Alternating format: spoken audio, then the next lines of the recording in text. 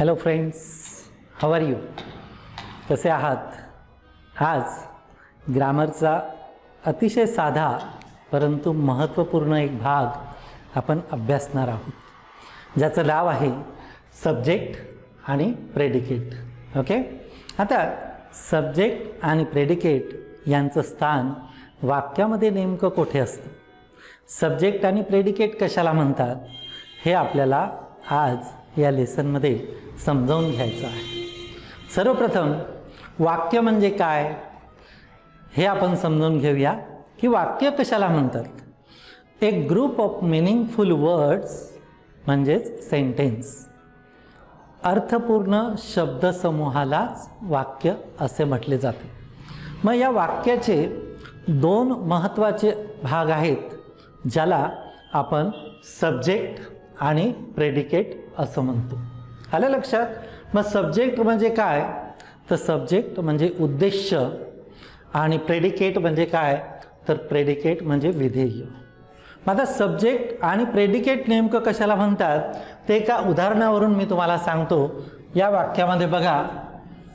आपण याचे दोन भाग केलेले आहेत.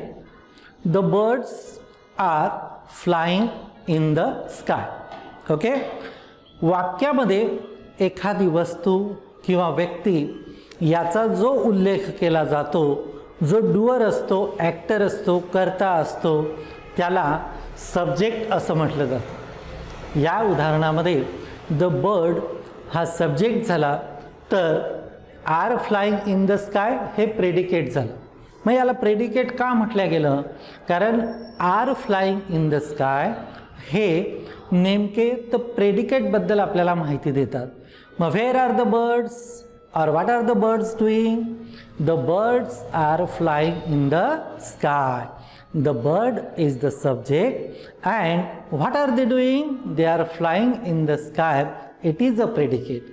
मग प्रेडिकेट म्हणजे काय? की वाक्यातील तो भाग जो आपल्याला सब्जेक्टबद्दल अधिकची माहिती देतो.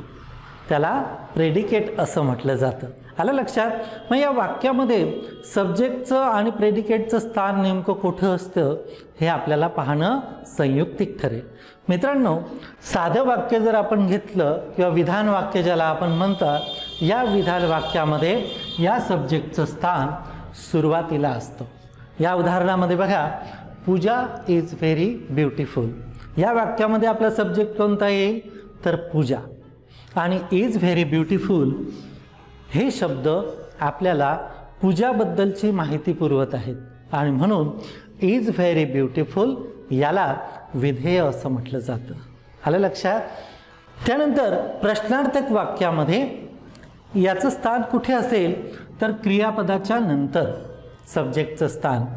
Is he doing his work या वाक्याची सुरुवात प्रश्नार्थक वाक्याची सुरुवात इजने झालेली आहे.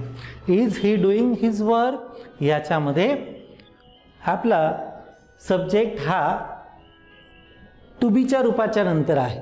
आलं लक्षात?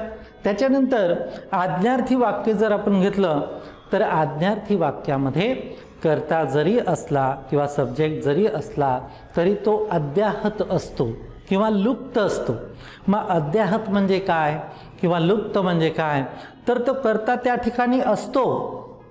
पण तो करता त्या ठिकाणाहून वगळला जातो. Okay? For example go away.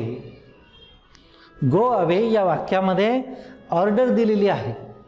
मग ही ऑर्डर कोणाला दिलेली आहे? तर तिथे तो करता आहे. You go away.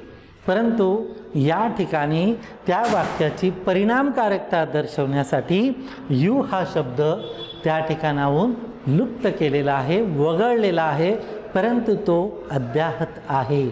म्हणून या ठिकाणी सब्जेक्टचं स्थान सुरुवातीला असलं तरी ते लुप्त स्वरूपात आहे किंवा अद्याहत स्वरूपात आहे. त्यानंतर उद्गारवाचक वाक्यामध्ये सुद्धा तसंच की उद्गारवाचक वाक्यामध्ये आपण काय करतो?